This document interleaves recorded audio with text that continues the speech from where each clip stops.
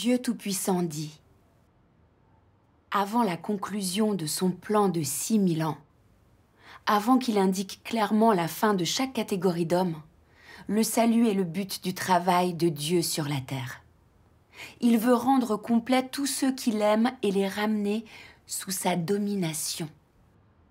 Peu importe comment Dieu sauve les gens, tout est fait en les faisant rompre avec leur vieille nature satanique, c'est-à-dire il les sauve en les faisant chercher la vie. S'ils ne cherchent pas la vie, ils n'auront aucun moyen d'accepter le salut de Dieu. Dans le passé, son moyen de salut était de démontrer le plus grand amour et de la compassion, de telle sorte qu'il a tout donné à Satan en échange pour toute l'humanité. Le jour présent n'a rien à voir avec le passé. Aujourd'hui, votre salut se réalise au temps des derniers jours durant le classement. Le moyen de votre salut n'est pas l'amour ou la compassion, mais le châtiment et le jugement pour que l'homme soit plus complètement sauvé. Ainsi, vous ne recevez que le châtiment, le jugement et des coups impitoyables. Mais sachez que, dans ces coups cruels, il n'y a pas la moindre punition. Peu importe la sévérité des paroles, vous ne recevez que quelques mots qui vous apparaissent tout à fait cruels. Et peu importe la force de ma colère, vous recevez chacun des paroles d'enseignement. Mon intention n'est pas de vous faire du mal, ou de vous mettre à mort. Tout cela n'est-il pas vrai? Car aujourd'hui, que ce soit le juste jugement, ou le raffinement cruel et le châtiment, tout est pour le salut. Peu importe si aujourd'hui chacun est classé selon son genre ou si les catégories d'hommes sont dévoilées, toutes les paroles et tout le travail de Dieu ont pour but de sauver ceux qui aiment vraiment Dieu. Le juste jugement vise à purifier l'homme. Le raffinement cruel vise à nettoyer l'homme. Les paroles sévères ou le châtiment visent à purifier et le salut est leur intérêt. Amen. Dieu soit loué. J'aimerais bien échanger sur mon expérience correspondant à ce passage. L'année dernière, l'Église se préparait à tourner un film. Et les frères et sœurs ont recommandé que je réalise ce film. Quand j'ai appris la nouvelle, j'ai été vraiment ravie. Et j'ai eu le sentiment que s'ils m'avaient recommandé, c'est qu'ils avaient reconnu mon talent et ma valeur. Sinon, pourquoi m'auraient-ils choisi? J'ai commencé à avoir un complexe de supériorité, à me croire meilleure que les autres. J'ai étudié, j'ai travaillé et appris comment faire des films, et j'ai lentement acquis certaines compétences. Je me souviens que quand j'ai commencé, je reconnais que j'étais un peu tendue. Mais je priais Dieu tout le temps. Et petit à petit, j'ai réussi à me calmer et j'ai pu me lancer sur le tournage. Après ça, les frères et les sœurs adoptaient souvent les idées que je leur proposais. Et pour la première scène que j'ai réalisée, ils ont tous beaucoup aimé ce que j'avais filmé. La dirigeante a dit que j'avais l'étoffe d'une réalisatrice. Mon cœur était vraiment rempli d'une grande fierté. Je me suis dit que j'étais vraiment très douée pour ce travail et que j'étais un talent indispensable pour son église. J'ai commencé à avoir l'impression de porter une couronne et je me promenais la tête haute. Je me disais que si je recevais autant de louanges juste après avoir commencé ce travail, c'est que j'étais vraiment compétente. Et avec un peu plus d'expérience, je deviendrais certainement encore plus compétente. À partir de là, quand je travaillais avec des frères et des sœurs, je n'étais pas aussi modeste que je l'étais avant. Je parlais avec assurance. Je les prenais de haut. Et puis je voulais toujours avoir le dernier mot sur tout. Je snobais tout le monde. Dès que quelqu'un remettait l'une de mes idées en question ou suggérait autre chose, j'étais inflexible, je me montrais impatiente et je le méprisais. Je pensais que j'étais meilleure que les frères et les sœurs, et ce en tout point qu'ils devaient simplement faire tout ce que je leur disais au lieu de faire des histoires. À mes yeux, ils soulevaient des questions vraiment insignifiantes, qui ne méritaient même pas qu'on en discute. Donc je leur demandais à chaque fois est-ce que c'est une question de principe? Simplement pour les faire taire. Une fois, Sir Zhang, le personnage principal m'a montré les costumes qu'elle voulait. Alors j'ai pensé en les voyant pourquoi choisit-elle des choses aussi laides? Je lui ai fait changer tous ses costumes. Je critiquais la plupart de ses choix concernant tous ses vêtements. J'avais la conviction que si je réalisais, alors c'est moi qui savais, et qu'il devait m'écouter. Les frères et les sœurs ont fini par se sentir limités, et ils n'avaient plus envie de donner des idées. En fait, je me suis sentie coupable en le voyant. Mais ensuite, après réflexion, je me suis dit simplement que je faisais ça pour notre travail, et que je n'avais rien fait de grave. Donc ensuite, je n'y ai plus repensé. À ce moment-là, la dirigeante a échangé avec moi et m'a révélé, disant que j'étais arrogante et que je contrôlais les gens. Elle m'a conseillé, plutôt que de passer mon temps à dénigrer les gens, de réfléchir sur moi-même et de résoudre mes problèmes en pratiquant la vérité. Bien. Mais j'étais loin de comprendre quelle était ma propre nature à ce stade. Je me trouvais responsable de mon travail.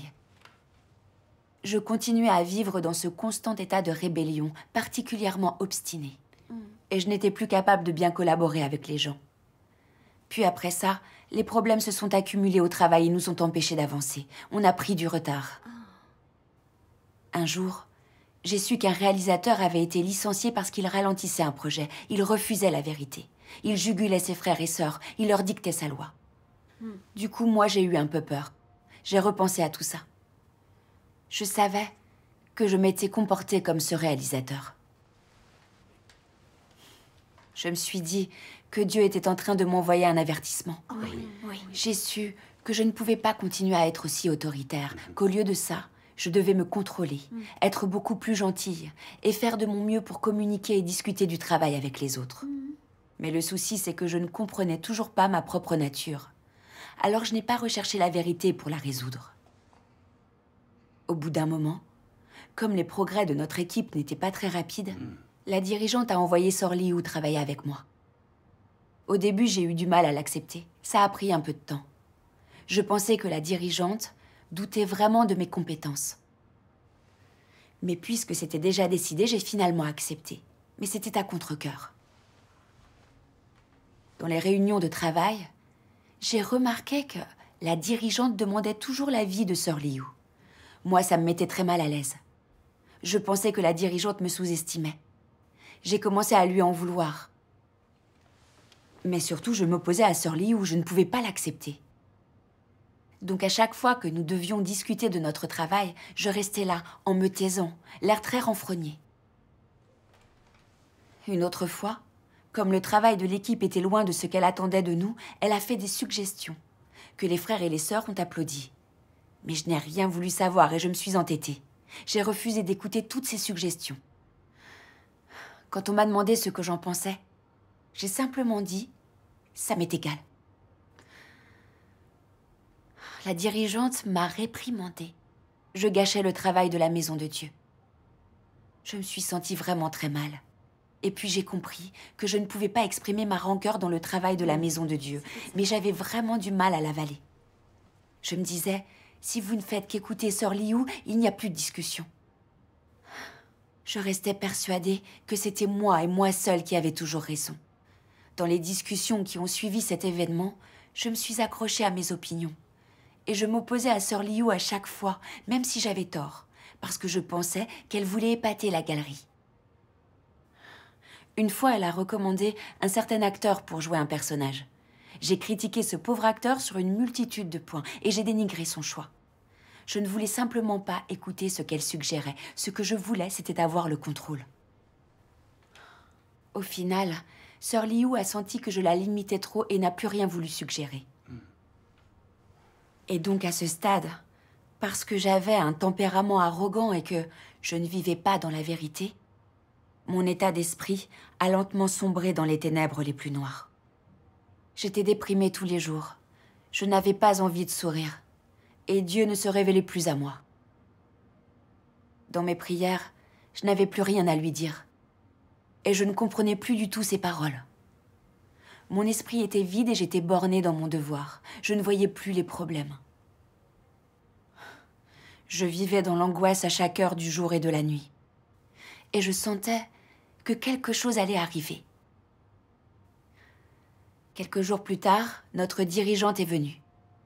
Elle a parlé de mon tempérament et a dit que j'étais arrogante, autoritaire et très arbitraire dans mes fonctions, et que j'avais perturbé notre travail.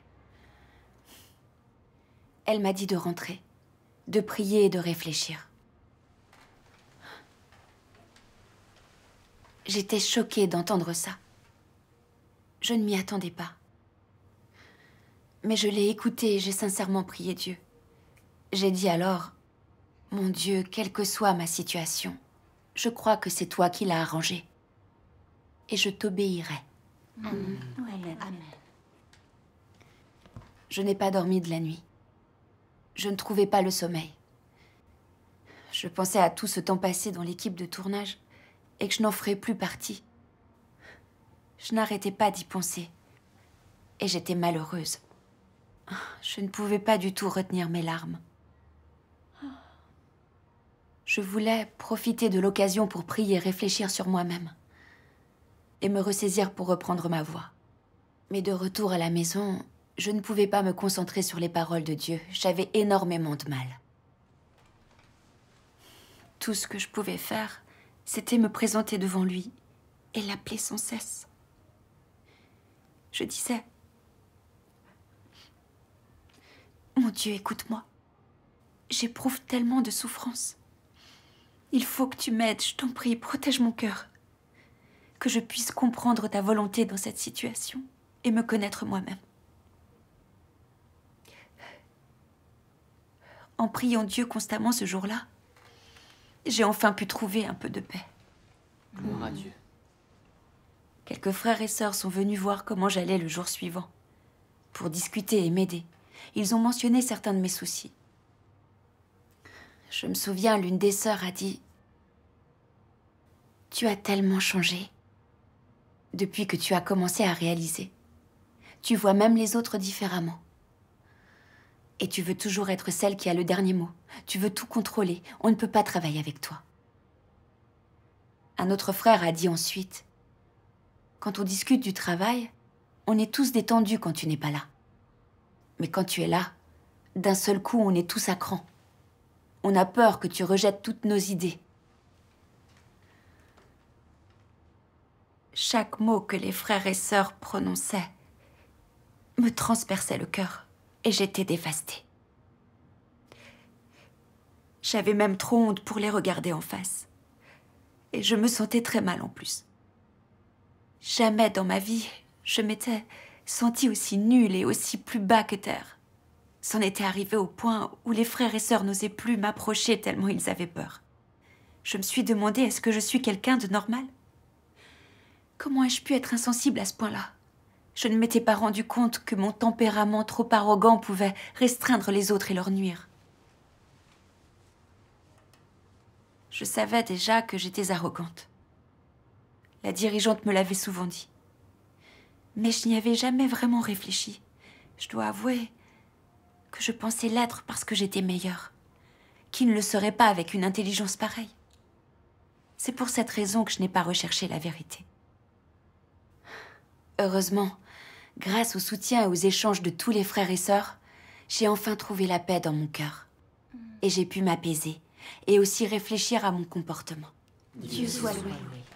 En réfléchissant, j'ai lu deux passages des paroles de Dieu que j'aimerais vous lire. Excellent. Dieu nous dit Si tu possèdes réellement la vérité, le chemin que tu emprunteras sera le bon. Sans la vérité, il est facile de faire le mal, et tu le commettras involontairement. Par exemple, si tu avais de l'arrogance et de la vanité, tu trouverais cela impossible de t'empêcher de défier Dieu, tu y serais forcé. Tu ne le ferais pas exprès, tu le ferais sous la domination de ta nature arrogante et vaniteuse. Ton arrogance et ta vanité te feraient mépriser Dieu et elle te le ferait voir comme n'ayant pas beaucoup d'importance. Et elle ferait que tu chantes tes propres louanges. Elle ferait également que tu t'affiches constamment devant les autres. Et pour finir, que tu t'assoies à la place de Dieu et te rendes témoignage à toi-même. En fin de compte, tu transformerais tes propres idées, ta propre pensée et tes propres notions en vérité qu'il faut adorer. Vois combien de mal est perpétré par les hommes sous la domination de leur nature arrogante et vaniteuse. L'arrogance est la source du tempérament corrompu de l'homme. Plus les gens sont arrogants, plus ils risquent de résister à Dieu. En quoi exactement ce problème est-il grave? Non seulement les gens arrogants voient les autres comme inférieurs, mais pire que tout, ils sont même condescendants envers Dieu. Même si extérieurement certains ont l'air de croire en Dieu. En vrai, ils ne le traitent pas du tout comme Dieu. Ils ont le sentiment de détenir la vérité et s'estiment meilleurs. Voilà l'essence et la source du tempérament arrogant. Et il provient de Satan. Par conséquent, le problème de l'arrogance doit être résolu. Avoir l'impression d'être meilleur, c'est insignifiant. Le problème crucial, c'est que le tempérament arrogant chez quelqu'un empêche de se soumettre à Dieu et à sa règle. Un tel individu veut toujours rivaliser avec Dieu. Ce genre de personne ne vénère pas Dieu le moins du monde. Sans parler d'aimer Dieu ou de se soumettre à lui. Amen. Grâce aux paroles de Dieu, j'ai compris que mon arrogance m'a fait me rebeller contre lui et lui résister. Comme j'avais fait mon devoir sur le tournage, dès que je réussissais quelque chose, je l'attribuais à mon travail acharné. Je pensais être meilleur que les autres. Je méprisais les autres et je m'obstinais à ne compter que sur moi-même, désirant avoir le dernier mot sur tout. Et quand je n'obtenais pas de résultats au travail, je ne pensais jamais que c'était peut-être de ma faute. Et du coup, je blâmais mes frères et sœurs plutôt que moi. Je leur faisais la leçon et les traitais avec condescendance. Je méprisais tous les autres, à cause de mon arrogance. J'étais incapable de voir les qualités des autres gens, et je pensais que mes idées étaient meilleures. J'étais intransigeante et je dénigrais les idées des autres. Je ne voyais pas qui j'étais, à cause de mon arrogance. Même après avoir été émondée et traitée, je refusais toujours de réfléchir. Je ne pouvais pas chercher avec mon cœur. Quand mon travail a ralenti et qu'il devenait clair que je n'y arrivais plus, je n'ai plus travaillé avec les autres. J'ai refusé de les laisser intervenir. Je sentais bien que ça menacerait mon autorité et que ça détruirait ma réputation. Je voulais avoir le pouvoir absolu et être la seule à tout décider. Étais-je sur le chemin de la résistance à Dieu? Oui. Oui. oui. Quand Sœur Liu a commencé à réussir dans son travail et à menacer mon poste, je savais très bien qu'elle avait raison et qu'elle travaillait pour la maison de Dieu. Mais je ne l'acceptais pas du tout, c'est pourquoi je pinaillais. Alors quand les autres frères et sœurs étaient tous d'accord avec elle, je ne le supportais vraiment pas. Et je passais ma colère sur mon travail. J'allais nuire au travail de la maison de Dieu, pour pouvoir protéger ma réputation et mon statut. Où était passée ma vénération de Dieu? Où était ma conscience et ma raison? J'ai vu que j'avais vécu avec un tempérament satanique d'arrogance, imposant chacune de mes pensées et de mes idées à mes frères et mes sœurs comme si elles étaient la vérité, obligeant les gens à m'écouter. N'était-ce pas vouloir être l'égal de Dieu et contrôler les autres? J'ai fini par m'apercevoir que j'étais dans une situation précaire. J'avais l'air d'accomplir mon devoir tous les jours et de me dépenser passionnément, mais je révélais un tempérament satanique. Mes actions allaient à l'encontre de la vérité et je perturbais le travail de l'Église. Je faisais le mal, je résistais à Dieu et j'offensais son tempérament. Oui. Je me demandais comment j'avais bien pu faire pour en arriver là. C'était parce que j'avais une nature très arrogante et une attitude très rigide. Je n'ai jamais accepté la vérité. J'ai fini par attirer la colère de Dieu. J'ai vu que j'avais été si profondément corrompue par Satan que la réalité de la vérité m'échappait. J'avais obtenu un poste important grâce à Dieu qui m'élevait. Et mon succès dans ma tâche était entièrement dû à l'œuvre du Saint-Esprit, absolument pas à mes aptitudes. Oui. Et j'ai vu que quand je comptais sur ma nature arrogante pour faire mon devoir, le Saint-Esprit ne m'aidait plus, et j'étais incapable de comprendre ou de résoudre les problèmes. Mais même là, je pensais encore que ça allait. J'étais arrogante au-delà de toute raison, sans une once de conscience de moi-même. C'est alors seulement que j'ai été dégoûtée par ma nature arrogante, à la haïr de toutes mes forces. Un peu plus tard, j'ai lu ce passage des paroles de Dieu. Vous vivez tous dans un pays de péché et de débauche, et vous êtes tous licencieux et pécheurs. Aujourd'hui, vous n'êtes pas seulement capable de voir Dieu, mais plus important encore, vous avez reçu le châtiment et le jugement. Vous avez reçu un salut très profond. Vous avez reçu le plus grand amour de Dieu. En tout ce qu'il fait, Dieu est vraiment aimable envers vous. Il n'a pas de mauvaises intentions. c'est à cause de vos péchés qu'il base son jugement sur vous, afin que vous vous examiniez et receviez ce formidable salut. Tout cela est fait dans le but de rendre l'homme complet. Du début à la fin, Dieu a fait tout son possible pour sauver l'homme. Et il n'a aucun désir de détruire complètement les hommes qu'il a créés de ses propres mains. Aujourd'hui, il est venu œuvrer parmi vous. Un tel salut n'est-il pas encore plus grand? S'il vous détestait, ferait-il encore une œuvre d'une telle ampleur pour vous conduire personnellement? Pourquoi devrait-il souffrir ainsi? Dieu ne vous déteste pas, ni n'a de mauvaises intentions. Vous devriez savoir que l'amour de Dieu est l'amour le plus vrai. C'est seulement parce que les gens sont désobéissants qu'il doit les sauver par le jugement. Autrement, il serait impossible de les sauver. Amen. Après ça, constamment, j'ai lu et relu les paroles de Dieu. Je ressentais une telle chaleur en moi. J'étais si émue en les lisant. Dieu soit loué. J'ai vu qu'en se révélant à moi ainsi, Dieu ne me condamnait pas, ne m'éliminait pas et ne me rendait pas les choses difficiles délibérément. Il le faisait pour me sauver. J'ai une nature très arrogante et je peux me montrer très rigide avec les autres. Dieu savait ce dont j'avais besoin.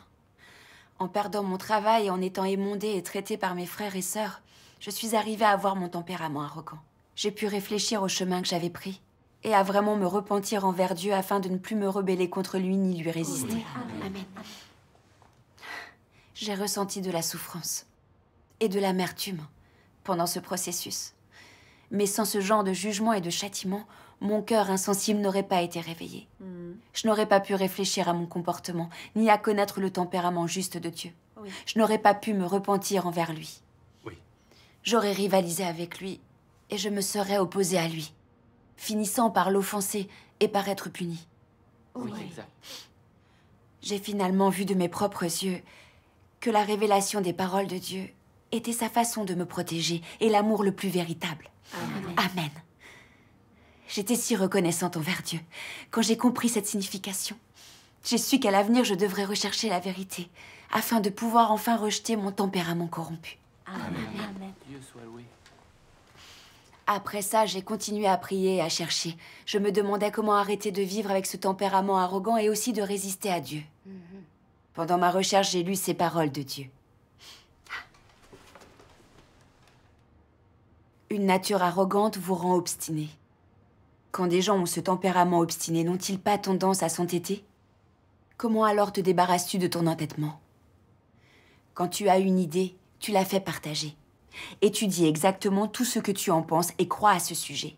Puis tu en parles à tout le monde. D'abord, tu peux éclairer ton point de vue et chercher la vérité. C'est la première étape à mettre en pratique pour surmonter ce tempérament d'entêtement.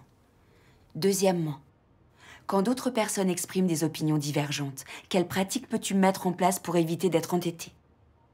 Tu dois faire preuve d'humilité, mettre de côté tout ce que tu crois être juste et laisser parler tout le monde.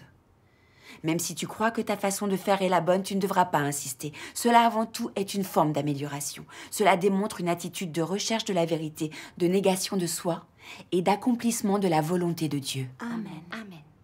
Une fois que tu as cette attitude, en même temps que tu te désapprouves, tu pries beaucoup.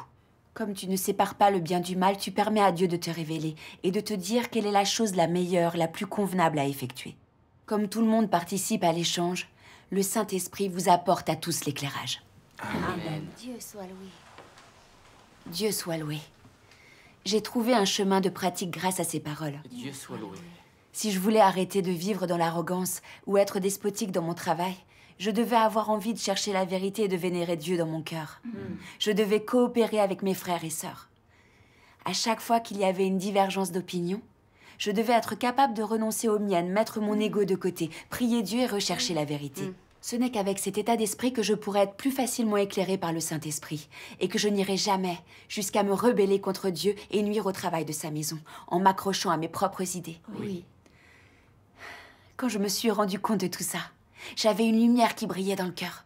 Dieu soit loué. J'ai fait cette prière. Mon Dieu, sache qu'à partir de maintenant, je veux travailler en harmonie avec les gens pour rechercher la vérité et faire notre devoir. Amen.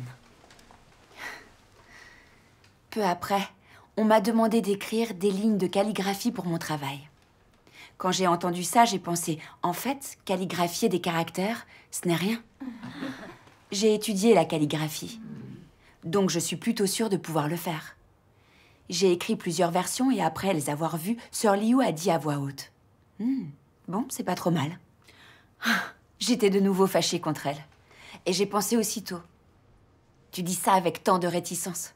Ma calligraphie était si mauvaise que ça C'est quelque chose que j'ai étudié et que je sais très bien faire. Est-ce que j'en sais moins que toi? Tu n'y connais rien et je sais parfaitement que tu fais exprès de me critiquer. Tandis que ces pensées me traversaient l'esprit, je me suis rendu compte que j'avais tort. N'était-ce pas le signe d'un tempérament corrompu? Sans perdre un instant, je me suis mise à prier Dieu. Oh mon Dieu, écoute-moi. Je veux avoir une attitude de recherche et d'obéissance, arriver à m'oublier et tout donner pour mon devoir.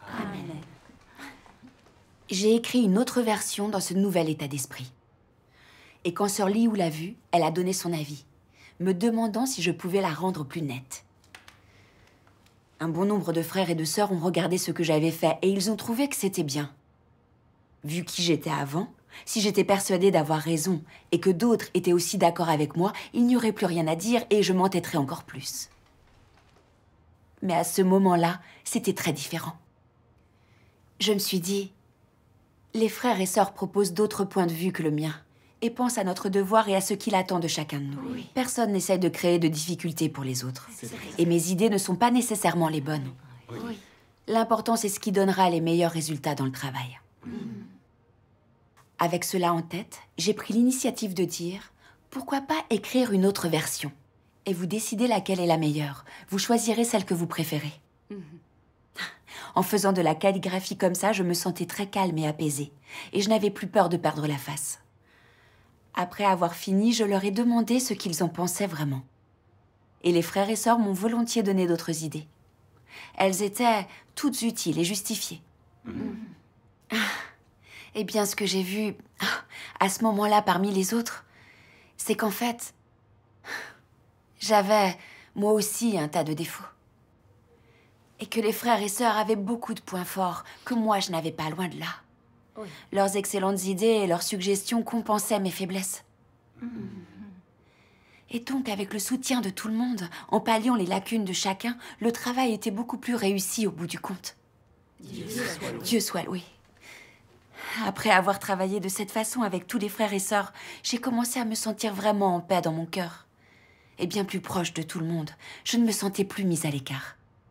Je n'étais plus insolente, ni dédaigneuse, ni hautaine comme avant. Et les autres se rapprochaient de moi. J'ai aussi trouvé que je n'avais pas autant de mal à accepter les suggestions des frères et sœurs, et que finalement je ne prenais pas mal leurs remarques sur mes lacunes. Il y a certaines choses qui ne m'ont pas vraiment plu, et du coup j'ai fait preuve d'arrogance. Mais avec les rappels à l'ordre des frères et sœurs, j'ai tout de suite pu me présenter devant Dieu. J'étais disposée à m'effacer, à chercher la vérité et à accomplir mon devoir selon des principes. Après ces nombreuses épreuves, ce que j'ai ressenti au fond de mon cœur était un sentiment de bonheur.